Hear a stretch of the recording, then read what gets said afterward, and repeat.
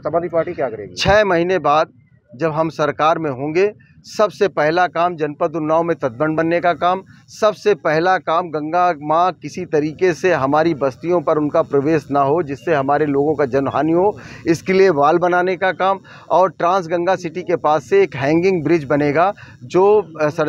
अमरूद की बगिया से सरसैया घाट की तरफ़ जाएगा। उस ब्रिज से आवागमन भी बढ़ेगा और वहाँ पर रोज़गार की व्यवस्था आदरणीय अखिलेश यादव जी के नेतृत्व में एक इस तरह का होगा कि कानपुर के लोग आपके उन्नाव में आएँगे वो गंगा जी के दर्शन भी करेंगे पर्यटन पर्यटन भी बढ़ेगा, रोज़गार भी मिलेगा और जीवन रक्षा के लिए। सबसे पहले हमारी सरकार ने जो तटबंध बनाने की बात की थी, जो बोल्डर वाला बनाया था, शुरुआत भी हुई थी, लेकिन सरकार चली गई। हम कहते हैं कि हम समाजवादी लोगों से सरकार को नफरत थी रहती। लेकिन उस गरीब जनता का दोष क्या था, जिनके लिए तटबंध बनाने की घोषणा आदरणीय अखिलेश यादव जी ने की थी, जिनके लिए वाल बनाने की घोषणा की थी कि जिनका जीवन सुरक्षित रहे। हम समाजवादियों से आप लड़िए, हमको जेल में डालिए, हमारे खिलाफ अमर्यादित भाषा का प्रयोग करिए, हम सब बर्दाश्त कर लेंगे। लेकिन लेकिन गरीब जनता के जनमानस के साथ, गरीब जनता के जीवन के साथ खिलावाड़, समाजवादी पार्टी बर्दाश्त नहीं करेगी। मैं विपक्ष का अध्यक्ष होने के नाते मुझे जैसे ही जानकारी हुई, इस गरीब जनता के लिए समाजवादी पार्टी जो कर सकती है, विपक्ष में रहते हुए हम अपनी ज़िम्मेदारी से विरत नहीं हो सकते। हम अपनी ज़िम्मेदारी का विपक्ष के नाते निर्वहन करते हुए सरकार को सजग करेंगे,